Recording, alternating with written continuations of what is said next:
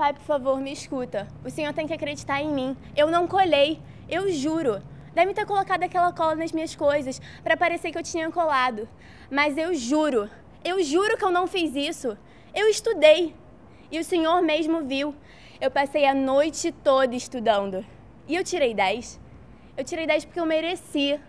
E eu não sei quem, nem o porquê que fez isso comigo. Mas quando eu descobri, quando eu descobri, todo mundo vai se arrepender de ter me acusado. O Senhor vai ver.